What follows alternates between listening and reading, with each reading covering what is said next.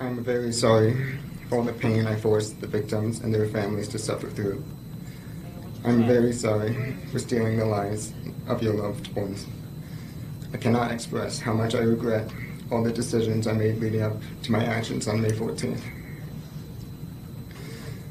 I did a terrible thing that day. I shot and killed people because they were black. Looking back now, I can't believe I actually did it. I believed what I read online and acted out of hate. And now I can't take it back, but I wish I could.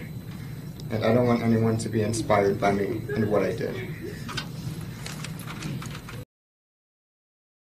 Thanks for watching our YouTube channel. Follow today's top stories and breaking news by downloading the NBC News app.